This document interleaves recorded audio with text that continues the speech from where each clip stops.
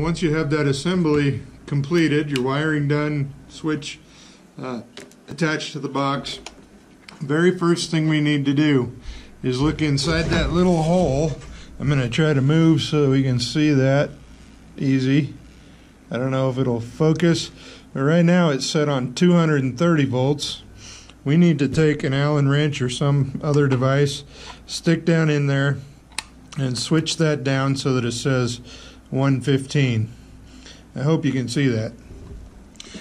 Uh, we use 115 volts uh, power supply here. Now, the power coming out of the power supply is 24 volts, and that feeds the motherboard and all the other motors and everything else.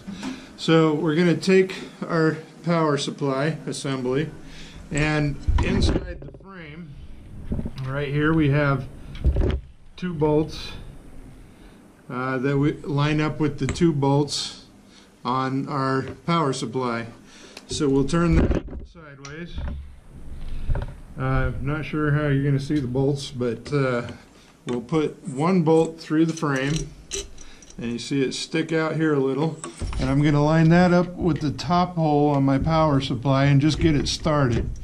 Uh, don't tighten yet, but get it started a couple of turns and if you need to, ease, uh, get your wrench and tighten it a little bit. Then we'll go ahead and get our second bolt. And I'll try to show this one a little easier. I put it on the end of my Allen wrench because that kind of acts like an extender.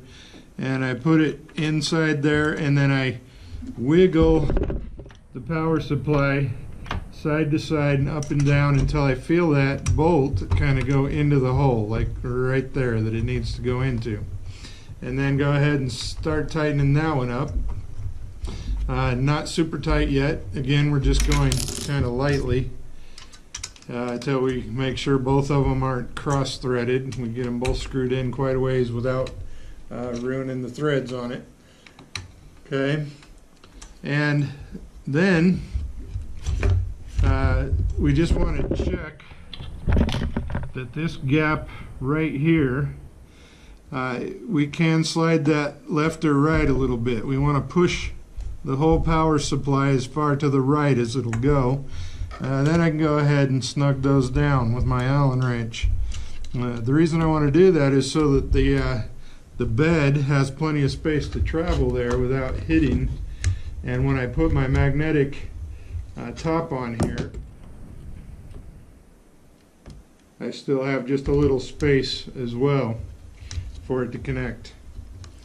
Okay, this thing is kind of a pain actually. Uh, I'm going to go just a little further back with it. There we go. Uh, but we still have a nice gap here between our power supply. Then we need to power supply around. I like to slide the bed forward so we can see.